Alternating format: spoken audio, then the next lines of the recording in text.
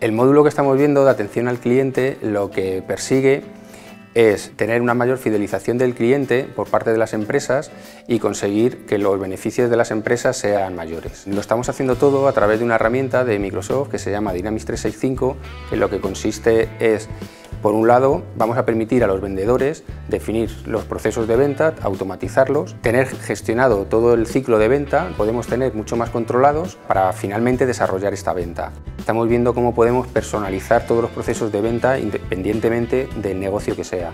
Podemos centrarlo, eh, si somos una inmobiliaria, en el proceso de venta de un inmueble. Si estamos hablando de una consultora, cómo gestionar el proyecto incluso y cómo poder eh, vender ese proyecto.